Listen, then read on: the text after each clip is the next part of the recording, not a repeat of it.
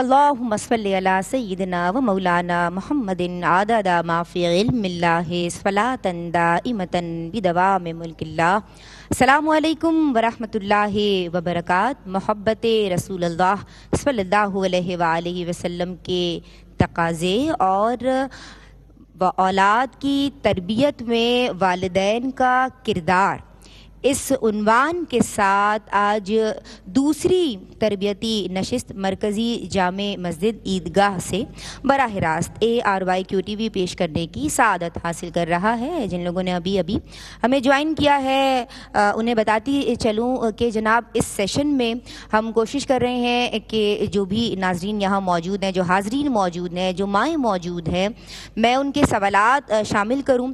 और जैसे कि हम सब जानते हैं कि वन नकल नज़ीम बेशक आप अलैहि वसल्लम की खूबू बड़ी शान की है।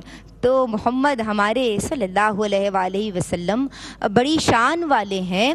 और आज अगर हम चाहते हैं कि दुनिया में मोहब्बत के दरिया बहें तो हमें आप सल्लल्लाहु अलैहि वसल्लम से ताल्लुक़ जोड़ना भी होगा और सीरत रसूल अल्लाह सल्लल्लाहु अलैहि वसल्लम को अपनाना भी होगा। आज बच्चों में बर्दाश्त कम नज़र आ रही है। आज हम देख रहे हैं कि अपने अपने लेवल पे बहुत ज़्यादा हमें ऐसे मामला नज़र आ रहे हैं। वो चाहे तालीमी दरसगाहें हों या वो चाहे अमली मैदान में आज के बच्चे बच्चियाँ हों। हम देख रहे हैं कि वो उस नबी के मानने वाले तो ज़रूर हैं। कि जब बात करते तो ऐसा लगता कि जैसे लबों से फूल झड़ रहे हैं, और जब खामोश रहते तो पुरवकार और बावकार नज़र आते। वो वो हैं कि जिन्होंने दुश्मन को खंजर से नहीं, अखलाक से मारा है। आप सल्लल्लाहु अलैहि वसल्लम वो हैं कि जिनके पास जानवर भी अपनी फरियाद रसी के लिए आया करते। आप सल्लल्लाहु अलैहि वसल्लम वो हैं कि जिनका हर हर्फ वाज और निखरा हुआ होता कि जब तालीम देते तो ऐसा मालूम होता कि जिस जलसे में खिताब कर रहे होते या जिस भी मजमे से खिताब कर रहे होते, उसकी तसल्ली होती, उसकी तशफ़ी होती। तो आज के उस्तादों को भी समझना है, आज के शागिर्दों को भी समझना है। हम आपके सवाल शामिल करेंगे और जो भी सवाल आप करना चाहें, मैं आपको दावत देती हूँ। जी, कोई सवाल करना चाहता है तो जी, वालेकुम अस्सलाम। मेरा सवाल ये है कि आजकल के जो बच्चे हैं, उनकी ख्वाहिशात लामहदूद हो गई हैं। एक फरमाइश पूरी करें बच्चे की तो दूसरी तैयार होती है। और इस हवाले से बच्चों के अंदर बहुत ज़्यादा शिद्दत पसंदी आ गई है। एक कंपटीशन की फिजा कायम हो गई है। अच्छा। मुकाबलेबाजी हो गई है। तो इस चीज़ को कैसे कंट्रोल किया जाए? माशाल्लाह बहुत अच्छा सवाल है। आपा मैं आपकी आ, आपकी समझलाऊँ डॉक्टर जुनैरा अंबर हमारे दरमियान हैं और ये जो घर में ही एक हम कंपटीशन का माहौल देखते हैं कि बच्चों में आपस में भी ये एक मुकाबलेबाजी और शिद्दत पसंदी बढ़ गई है। अच्छा आप क्या समझती हैं कि माओ का भी इसमें किरदार है कि वो खिदमत गुजार बन गई हैं आपने कहा भी था अपने जी हम्म। देखिए सवाल बहुत ही अहम है और ये जो शिद्दत पसंदी एक आपने लफ्ज़ इस्तेमाल किया है ये अब अनफॉर्चुनेटली हम मुसलमानों के साथ लेबल करने की कोशिश की जा रही है। जबकि हमारा दीन ये था कि ये आप देखिए लफ्ज पूरी दुनिया के मजाहब को रिगार्डलेस कोई हम किसी पे तनकीद नहीं करते लेकिन हर मज़हब का नाम देखिए और फिर अपने मज़हब का नाम देखें। जब हम दायरा इस्लाम में दाखिल होते हम कहते हैं मुसलमान है। हमारा दीन इस्लाम है। इस्लाम के मायने सबमिशन भी है खुद सुपुर्दगी फर्मा बरदारी और इस्लाम सलामती से भी है। अमन, आश्ती और मोहब्बत का मज़हब। अब जहाँ तक बात है कि बच्चों के अंदर चाहे वो अपनी ख्वाहिशात के पूरे करने से मुतालिक हो, शिद्दत पसंदी, या अपने नज़रियात से मुतालिक हो, या मजहबी नज़रियात से मुतालिक हो, दीन इस्लाम में सबसे पहले जिस चीज़ को ख़त्म किया गया, वो यही इंसान की अपनी ज़ाती सोच अपना नफ्स, ये हमारा नफ्स है। हम सिर्फ़ अपने नफ्स को अहमियत दें और अल्लाह के हबीब हज़रत मोहम्मद मुस्तफ़ा सल्लल्लाहु अलैहि वसल्लम ने फरमाया कि तुम उस वक्त तक जन्नत नहीं पा सकते। या प्यारे आका मोहम्मद मुस्तफ़ा सल्लल्लाहु अलैहि वसल्लम ने फरमाया कि तुम्हारा ईमान उस वक्त तक मुकम्मल नहीं हो सकता, जब तक कि तुम्हारी ख्वाहिशात उस चीज़ के ताबे ना हो जाएँ जो मैं लाया हूँ। यानी पैगाम। इस्लाम, कुरान पाक। तो ये ख्याल रखें कि एक तो बच्चों को ये समझाया जाए कि हम दुनिया में आर्जी कयाम गाह में हैं, हम कुछ वक्त के लिए यहाँ पर हैं, हमें एक मकसद के लिए भेजा गया है, ये हमारा टेस्ट एंड ट्रायल है, और यहाँ पर हम जितना अच्छा काम करेंगे, हम ट्रांसफ़र हो जाएँगे, हमें शिफ्ट होना है एक अबदी दायमी ज़िंदगी के लिए जिसको हम आखिरत कहते हैं, वहाँ हमारी मंजिल और हमारा मकसद है जन्नत। और इस जन्नत को पाने के लिए हम दुनिया में एफर्ट करते हैं। अब यहाँ पर इस बात का भी बच्चों को समझाया जाए कि बचपन से ही उनकी हर ख्वाहिश को पूरा करने की उनको आदत मत डालें और उसका तरीका प्रैक्टिकली अगर मैं आपको बताऊँ तो ये नहीं है, नहीं, उसको जवाज दीजिए, उसको रीज़न बताइए कि बेटा ज़रूरी नहीं है कि जो चीज़ भी आप देखें वो आपके हाथ में हो। हज़रत उमर फ़ारूक रज़ी अल्लाह तु का एक कॉल मैं यहाँ पर कोट करना चाहूँगी कि हज़रत उमर फ़ारूक रज़ी अल्लाह तु फरमाते हैं कि जैसे अल्लाह के हबीब ने फरमाया ना, ईमान, उम्मीद और खौफ के बीच में है। फरमाया, अल्लाह की राहमत से मेरी उम्मीद का हाल ये है कि अगर बताया जाए कि सब दोजख में चले गए, मगर एक बच गया तो मैं अल्लाह की राहमत से उम्मीद रखूँगा कि वो एक मैं हूँ जो जहन्नुम से बचा लिया गया। और अल्लाह के खौफ के बारे में यानी उसकी नाराज़गी के डर के बारे में मेरा आलम यह है कि अगर कहा जाए कि सब जन्नत में चले गए इस उम्मत में से बस एक रह गया तो मुझे खौफ होगा कहीं वो मैं तो नहीं हूँ। तो आज एक दूसरे को तनकीद करने के बजाय एक दूसरे से मुकाबला करने के बजाय हम अपनी इसलाह पर ध्यान दें और मुकाबला सिर्फ़ इस चीज़ में जायज़ है जो कुरान पाक ने बताया फस तभी कुल खैरात। नेकियों में एक दूसरे से मुकाबला करें, किसी पर उंगली मत उठाएँ। हमारा दीन वो दीन है कि जिसमें अल्लाह के हबीब फरमाते हैं, पूरी मखलूक अल्लाह का कुंबा है। हम तो यहाँ अपने बच्चों को बताते हैं ना कि मुसलमानों के साथ कैसा सलूक करना है। हम गैर मुस्लिम ममालिक में भी जब जाते हैं तो वहाँ हमारा मुख्तलिफ़ मजाहिब के लोगों से वास्ता पड़ता है। हमें किसके साथ कैसे रहना है? हमारे नबी, आका मोहम्मद मुस्तफ़ा सल्ला वसलम ने हमें सिखाया है। अल्लाह के अबीब एक दफ़ा एक यहूदी का जनाजा जा रहा था, देखकर तशरीफ़ फरमाते, आप खड़े हो गए। आप खड़े हुए तो साब कराम रिजवान मजमैन फरमाते हैं कि, या रसूल अल्लाह सल्लल्लाहु अलैहि वसल्लम, ये तो एक यहूदी था, आप इसके लिए खड़े हुए? आपने फरमाया, यहूदी तो था। लेकिन अल्लाह का बंदा भी था। तो हमारे आका ने तो गैर मुस्लिमों से भी उसने सुलूक का हुक्म दिया। हमें चाहिए कि अपने अंदर ये टॉलरेंस ये बर्दाश्त और ये इस्तकामत हम भी पैदा करें। जी टॉलरेंस की ज़रूरत है बर्दाश्त की ज़रूरत है। आका सल्लल्लाहु अलैहि वसल्लम की बारगाह में हर मज़हब मिलत से ताल्लुक़ रखने वाले आते और आप सल्लल्लाहु अलैहि वसल्लम के यहाँ से तसल्ली बख्श जवाब भी पाते और खुश होके जाते। क्या सवाल करना चाहेंगी? अस्सलाम वालेकुम वालेकुम अस्सलाम रहमतुल्लाह। मेरा सवाल ये है कि आज की माएँ बहुत पुरजोश हैं बच्चों के लिए कि उनकी अच्छी तरबियत हो। लेकिन आज का जो बच्चा है जी। वो सुनने और समझने के लिए तैयार नहीं है। तैयार नहीं है बिल्कुल। सही। जी आज का जो बच्चा है वो सुनने और समझने के लिए तैयार नहीं है। इम्तियाज़ आपा मैं आपकी इस हम ये सवाल लेके आऊँगी और कल इसे अमली मैदान में कदम रखना है और आज उनकी तरबियत माओ ने करनी है। तो किसको सीखना और समझना है? क्या समझती हैं आप? शुक्रिया निदा।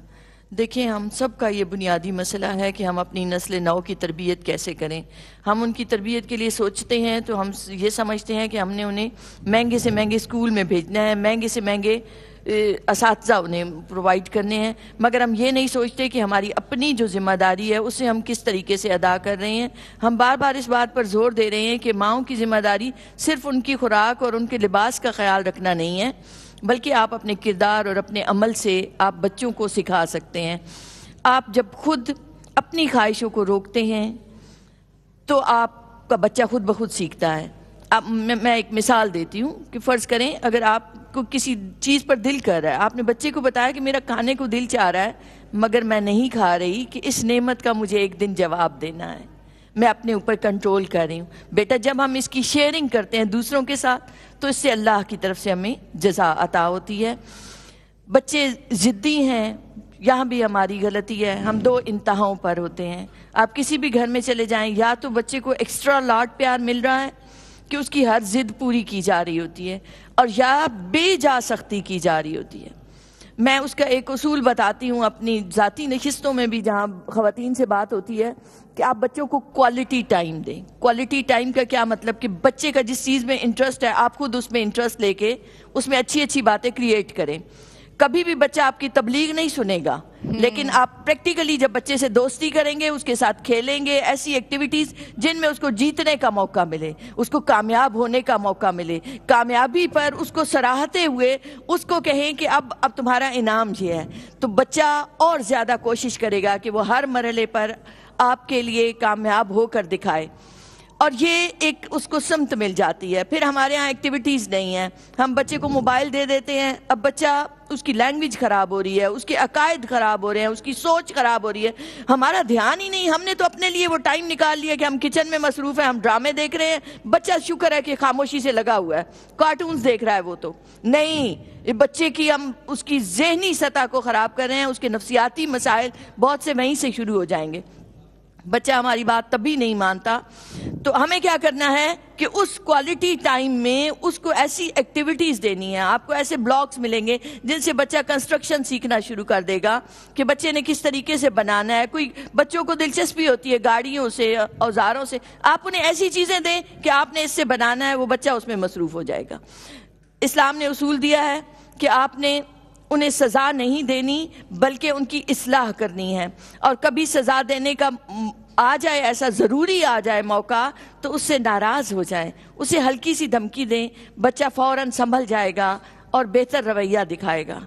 अल्लाह रब्बुल इज़्ज़त हमें तौफीक दे कि हम अपने बच्चों की सही तरबियत कर सकें, उन्हें अल्लाह और अल्लाह के हबीब की तरफ़ ला सकें। मगर ये तभी मुमकिन होगा जब माएँ हमारी उस मोहब्बत के साथ अरकान इस्लाम को अदा कर रही होंगी।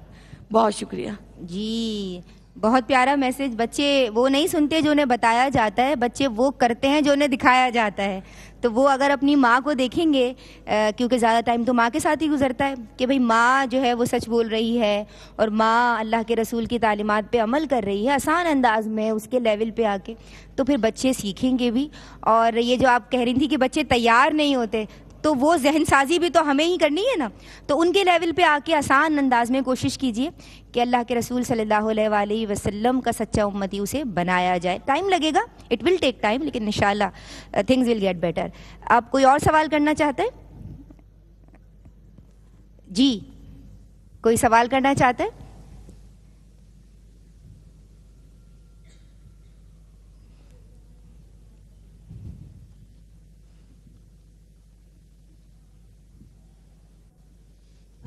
वालेकुम अस्सलाम मेरा अब सवाल वालदेन के मुतलक है हम्म।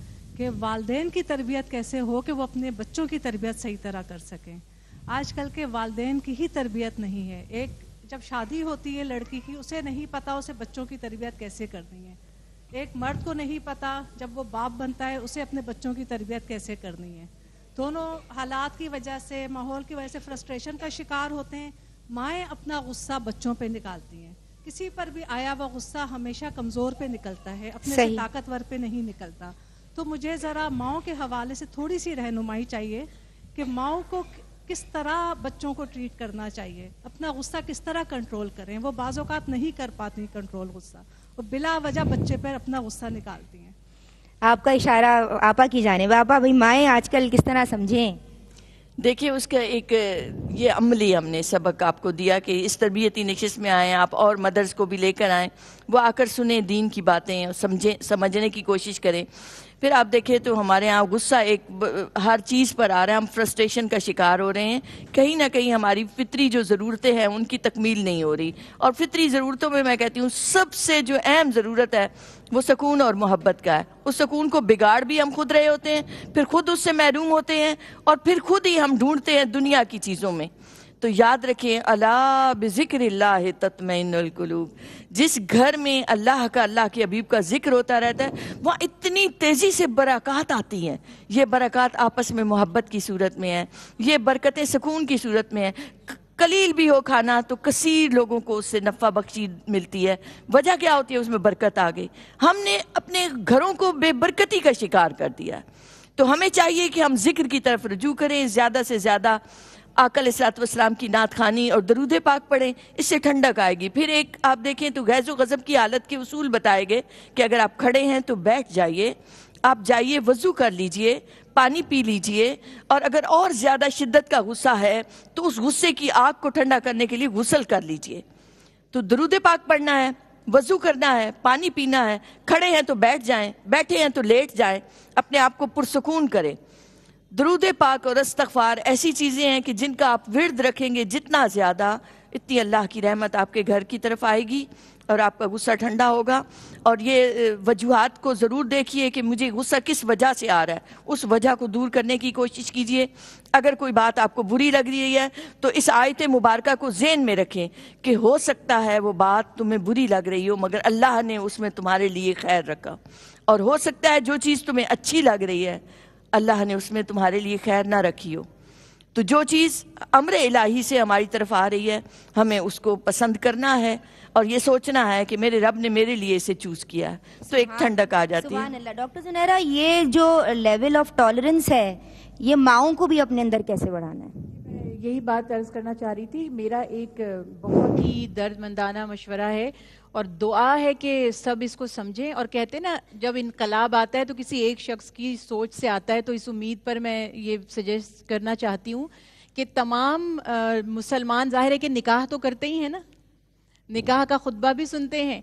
उस वक्त हम अपने उलमाए कराम से गुजारिश करें कि निकाह का जब खुतबा पढ़ें, उसके बाद थोड़ा सा ब्रीफ कर दें माँ बाप यानी अब होने वाले माँ बाप हैं वो, ज़ाहिर है कि निकाह के बाद पूरी फैमिली बनेगी तो उनको ये बताया जाए कि तुम अब अल्लाह सुबहाना ताला की रहमत से एक बहुत बड़ी ज़िम्मेदारी उठाने वाले हो। पहले हम सिर्फ़ अपने जिम्मेदार थे। अल्लाह के अभी फरमाते हैं, कुल्लुकुम राइन तुम में से हर शख्स निगेबान है और हर शख्स से उसकी निगेबानी का पूछा जाएगा। तो खुतबा निकाह के वक्त ये ट्रेंड सेट होना चाहिए कि थोड़ा सा कपल को ये भी बताया जाए कि अब बच्चों की तरबियत करने के लिए आप प्रॉपर क्लासेस लीजिए, दर से कुरान पाक की सूरत में लें या ऐसे ट्रेनिंग सेंटर्स बनाए जाएँ। गैर मुल्की ममालिक में पेरेंटिंग की तरबियत होती है, बच्चे पैदा होने से पहले बताया जाता है कि किस फ़ेज़ से आपने गुजरना है, उनको कैसे डील करना है। तो हमारे दिन में तो इसकी बहुत ज़्यादा अहमियत है, क्योंकि हमें तो उनकी आखरत की भी फ़िक्र है, वो तो सिर्फ़ दुनिया की फ़िक्र करते हैं, और हमें आखरत की भी फ़िक्र है। एक ख्याल ये, दूसरी बात यह कि बच्चे की तरबियत की माँ और बाप दोनों पर ज़िम्मेदारी है। वालदा के ऊपर रिस्पॉन्सिबिलिटी इसलिए ज़्यादा होती है कि प्रैक्टिकली औरत का टाइम घर में गुजरता था और मर्द हजरात जंगों में जाते थे, कारोबार में लगे रहते थे, रोज़गार के लिए बाहर होते थे तो इसलिए मर्दों की बनस्बत औरतों से एक्सपेक्टेशन ज़्यादा थी। अदरवाइज़ रसूल अल्लाह सल्लल्लाहु अलैहि वसल्लम की प्यारी हदीस मुबारक आपने फरमाया, एक बाप अपने बच्चे को जो सबसे प्यारा तोहफा देता है, वो अच्छे अखलाक हैं, अच्छी तालीम। तो पता चला कि वालिद और वालदा दोनों मिलकर, और जैसे पिछली दफ़ा भी हमने बात की थी कि माँ बाप में अगर यूनिटी होगी, मोहब्बत होगी, इत्तेफाक होगा तो ही आने वाली नस्ल में भी मोहब्बत और इत्तेफाक होगा।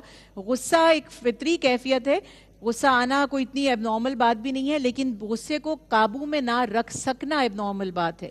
तो इस वजह से या माँ ने ओ पढ़ें, और जैसे अभी इम्तियाज़ साहिबा ने हमारी आलिमा साहिबा ने भी बताया कि आप गुस्से को कंट्रोल करने की स्ट्रेटजी बनाइए। क्योंकि ये जो है ना, ये एक्शन का रिएक्शन होता है। ये जो बच्चे हम उस वक्त गुस्से में इनसे बुड़बुड़ाते हैं, ये थोड़े दिनों के बाद वापस हमें ही फेस करना पड़ेगा। अगर हम कंट्रोल करके इनको दिखा देंगे तो हम इनको भी कूल एंड काम कर देंगे। तो इसलिए अपने अपनी बेहतरी के लिए, अपने घर की बेहतरी के लिए, अपने ख़ानदान की, और फिर घर से बच्चा फ्रस्ट्रेटेड होकर निकलता है, सड़कों पर किसी का गिरेबान पकड़ लिया, ज़रा सा किसी ने गाड़ी गलती से भी क्रॉस कर दी या टच कर दिया तो वहाँ पे हाथापाई जैसे मनाजिर हमें देखने में मिल रहे होते सॉरी करने का और सॉरी को सहने का कॉन्सेप्ट नहीं मिलता। ये बच्चों को बताइए, अगर उनके घरों में से वो प्रेशराइज होकर फ्रस्ट्रेटेड होकर नहीं निकलेंगे तो वो बाहर भी किसी से नहीं उलझेंगे। जो अभी हमने इब्तदा में बात की अल्लाह इन ना का अफुन तो अफवा। ए अल्लाह, आप माँ फरमाने वाले हैं, दरगुजर को पसंद करते हैं, चाहे वो मेरे बहन भाइयों के मामले में हो, चाहे वो मेरे मुस्लिम बहन भाइयों के बारे में हो, और चाहे वो पूरे किसी भी मज़हब के इंसान के बारे में हो टॉलरेंस जो है वो की है। कामयाबी का, और हम तो मुबल्लिग हैं, हमें तो पूरी दुनिया में इस्लाम को फैलाना है। तो हमें अपने किरदार को ऐसा बनाना पड़ेगा कि लोग हमसे मुतासर हों, हमसे मोहब्बत करें और पूछने पर मजबूर हो जाएँ कि ये इतने किरदार वाला आखिर है कौन? फिर उसको पता चले कि ये मुसलमान है। और फिर वो शख्स अपने जहन में एक इमेज बनाएगा अच्छा मुसलमान ऐसे होते हैं, मुसलमान दरगुजर करने वाले होते हैं, मुसलमान मदद करने वाले होते हैं। तो हम उन्हें बताएँगे कि हमारे आका मोहम्मद मुस्तफ़ा सल्ला वसलम ने हमें यही यही सिखाया है और उनकी इतबा हमारे लिए लाजिम है और अल्लाह की रज़ा और जन्नत अगर हम चाहते हैं तो हम इतबा करेंगे। एक शख्स नमाज़ की नकल कर रहा था, अजान की।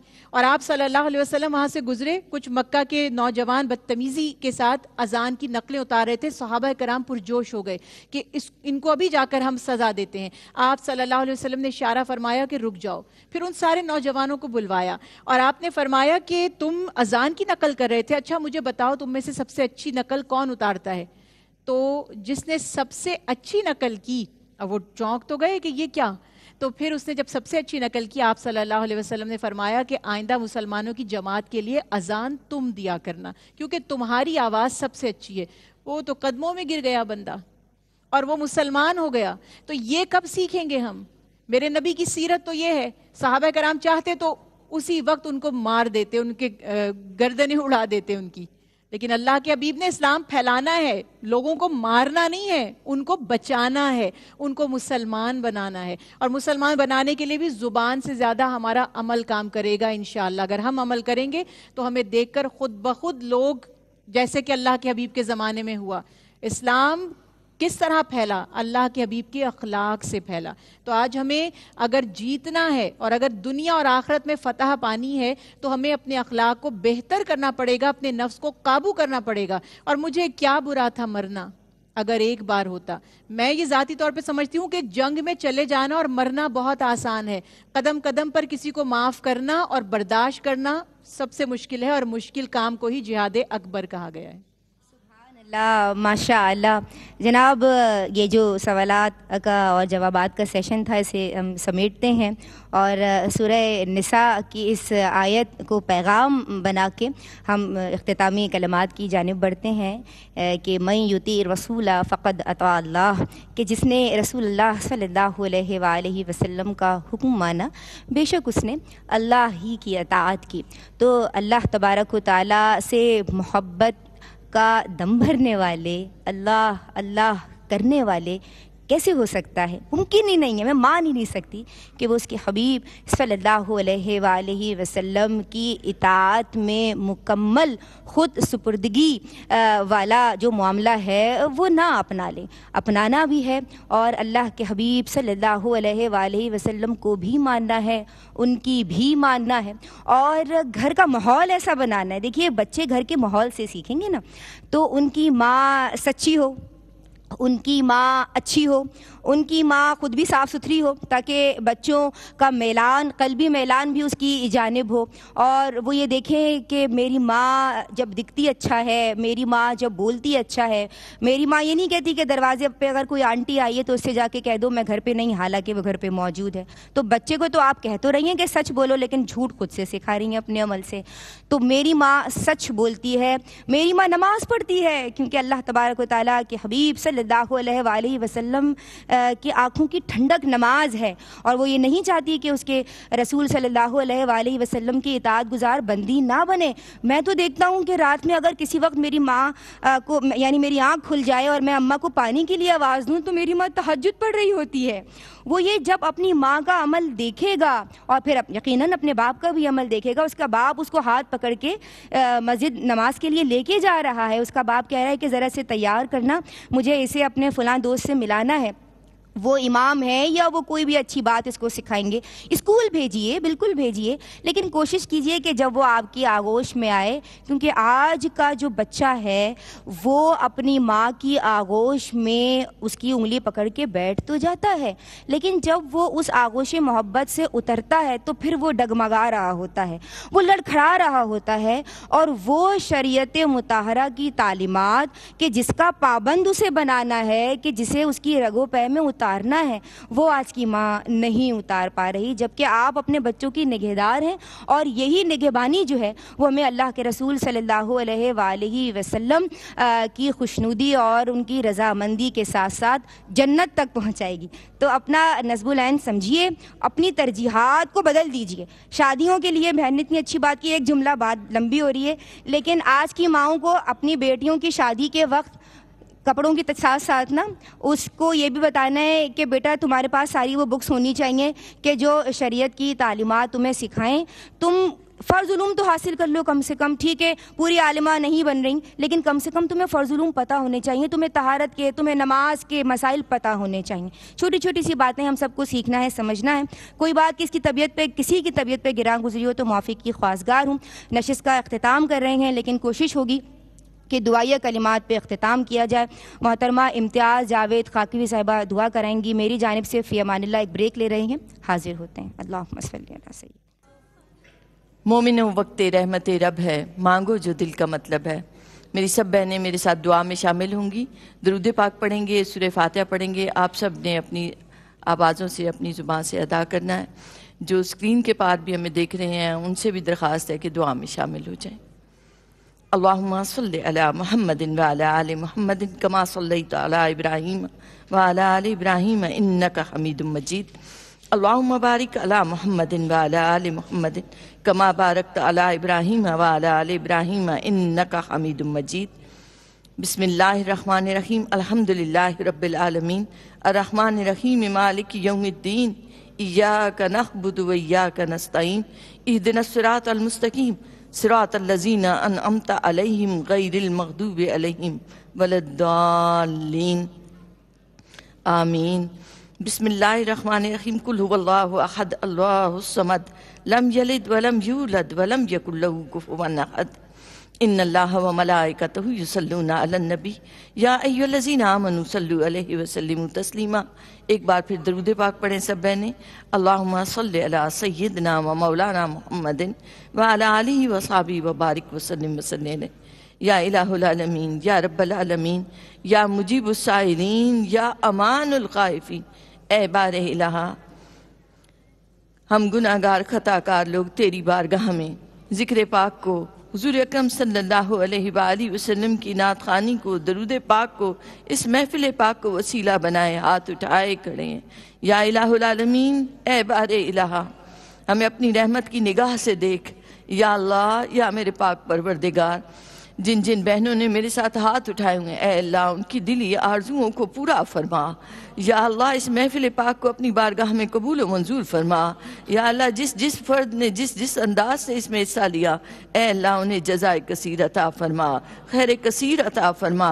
या अल्लाह उनके घरों में बरक़ात अता फरमा, इस ज़िक्र पाक की बरक़ात अता फरमा। या अल्लाह, या मेरे पाक परवरदिगार, तमाम बीमारों को शिफा अता फरमा। मौला हमारी ज़ाहिरी बातनी, तमाम कल्बी बीमारियों को दूर फरमा। या इलामीन तमाम बे औलादों को औलाद नरीना अता फरमा, या अल्लाह, या मेरे पाक परवरदिगार, हम माओ को अपने बच्चों की सही तरबियत की तौफीक अता फरमा। या इलामीन ये कैसा वक्त आ गया? हमारे बच्चे शिद्दत पसंद होते चले जा रहे हैं। या बार इलाहा है मेरे पाक परवरदिगार, हमारे बच्चों को आकल सलाम की सुन्नतों पर अमल करने वाला बना। या इलामीन इनकी रगों में एहतराम इंसानियत आए। या इलामीन इनके अंदर खिदमत खल का जज्बा आए। ए अल्लाह, मेरे पाक परवरदिगार, हम नाकिस हैं, कमज़ोर हैं। ए अल्लाह, हम नफ्स के हाथों में मौला मगलूब हो जाते हैं। या इलामीन हम माओं की मदद फरमा, कि हम अपने बच्चों की सही तरबियत कर सकें। ए अल्लाह, हमारे बच्चों को अच्छा इंसान बनने की तोफ़ी अता फरमा अच्छा नेक साले मुसलमान बनने की तोफ़ी अता फरमा। या इलामीन या रब्बल हम सबको हलाल, तैयब, पाकिज़ा रिस्क अता फरमा। कुशादा और वसी रिस्क अता फरमा। ए अल्लाह, हमारे हाथों में कुशादगी अता फरमा। हमें सखावत के अंदाज अता फरमा। या इलामीन हमारे घर भी खैरात करने वालों में सबसे आगे हो जाएँ। ए अल्लाह, हम कमज़ोरों का हाथ थामने वाले बन जाएँ। बेसहारों का सहारा बनने वाले बन जाएँ। ए अल्लाह, हम अपने इल्म से, अपने मनसब से अपनी ताकत से दूसरों की मदद करने वाले बन जाएँ। या इलामीन हम कमज़ोर हैं अमल में भी, ताकत में भी। ए अल्लाह, हमें मज़बूत कर दे। या अल्लाह, हमें इतफाक़ इतिहाद अता फरमा। या अल्लाह, या मेरे पाक परवरदिगार, दुखी दिलों के दुखों को दूर फरमा। परेशान हालों की परेशानियों को दूर फरमा। मोताजों की मोताजी को दूर फरमा। ज़रूरतमंदों की ज़रूरतों को पूरा फरमा। ए अल्लाह मेरे पाक परवरदिगार हमारी खताओं को, गुनाहों को माफ़ फरमा। या अल्लाह, या मेरे पाक परवरदिगार। माला हमारी बिसात नहीं कि हम बड़ी बड़ी बातें कर सकें। या अल्लाह, या मेरे पाक परवर परवरदिगार, जो लफ्ज़ हम बोलते हैं, हमें उसकी हया अता फरमा। या आलमीन, हमें अमल की तौफीक अता फरमा। या अल्लाह, या मेरे पाक परवरदिगार, इस ज़िक्र पाक की बरकतें घर घर में अता फरमा। ए अल्लाह, मेरे पाक परवरदिगार। मौला जब तू अपनी रहमत की निगाह से देखेगा तो तुझे हमारी बदामालियाँ भी नज़र आएँगी, हमारी खयानतें भी नज़र आएँगी, हमारे इस्तेसाल भी नज़र आएँगे। ए अल्लाह, ए मेरे पाक परवरदिगार, या रब्बुल आलमीन, या अरहमुर राहिमीन। हम हुजूर के उम्मती हैं, हम ईमान वाले हैं, हम कलमा गो ए अल्लाह, इस कलमे की लाज रखते हुए मौला हमारी खताओं को माफ़ फरमा दे। हमारी गलतियों को गुनाहों को माफ़ फरमा दे। या अल्लाह या मेरे पाक परवरदिगार इह दिन सिरात अल मुस्तकीम इह दिन सिरात अल मुस्तकीम मौला हुजूर का सच्चा गुलाम बना ले। हुजूर की मोहब्बत के नूर से हमारे दिलों को मुनवर फरमा। या इलाहुल आलमीन सिद्दीक अकबर जैसा सिद्क अता फरमा फारूक आज़म जैसा अदल अता फरमा या अल्लाह उस्मान गनी जैसी सखावत अता फरमा अली हैदर करार जैसा जोदो बरा अता फरमा उन जैसी शुजात अता फरमा। अल्लाह मुल्क पाकिस्तान को दहशत गर्दों से महफूज फरमा दुश्मन की मैली नज़र से महफूज फरमा। या इलाहुल आलमीन मुसलमानों में आपस में इत्तफाक और भाईचारा अता फरमा। ए अल्लाह हम फिरका परस्ती का शिकार हो गए। ए अल्लाह हम एक दूसरे से दूर होते चले गए। या अल्लाह हमारे दिलों में एक दूसरे के लिए मोहब्बत नाजिल फरमा। या अल्लाह हम सब में मोहब्बत का नूर नाजिल फरमा। या अल्लाह किताब मुबीन पर चलने वाला बना। ए अल्लाह मेरे पाक परवरदिगार हर एक मुसलमान की आरज़ू रहती है। मौला हज और उम्रे की सआदत नसीब फरमा। मौला हर मैन शरीफ मैन की बाद बाजरी नसीब फरमा। ए अल्लाह पाँव दिए हैं तो वहाँ का तवाफ भी नसीब फरमा। ए अल्लाह गुंबद खजरा को देखना नसीब फरमा। या इलाहुल गुंबद खजरा वाले की जियारत नसीब फरमा। उनका दीदार अता फरमा। या इलाहुल या रब्बल आलमीन मौला तू अपनी शान के मुताबिक हर एक की झोलियाँ भर दे। या इलाहुल हर एक को अता फरमा। कोई महरूम न रहे मौला हर एक को अता फरमा। रब्बना आतिना फिद दुनिया हसनतम व फिल आखिरत हसनतम व किना अजाबन नार व किना अजाबल कबरी व किना अजाबिल पुरसरात, वकिना अजाबुल मीज़ान। रब्बना ज़लमना अनफुसना व लम लना व तरहमना, लनकूनन्ना मिनल खासिरीन। रब्बना वला तहमिल अलैना इसरन कमा हमलत लजीना मिन कबलना। रब्बना वला तुहम्मिलना मा ला ताक़त लना।